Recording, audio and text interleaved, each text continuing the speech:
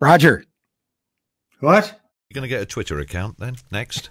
No, Tweet from backstage behind the wall. no, my thumbs are too big. Okay. I'm, I'm slightly discombobulated by that. What the fuck is wrong with these people? Oh, no, no, no. Woo! No.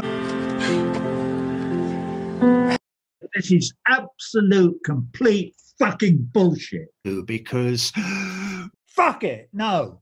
I'm going to make as much noise as I can. Okay. Thank you for listening.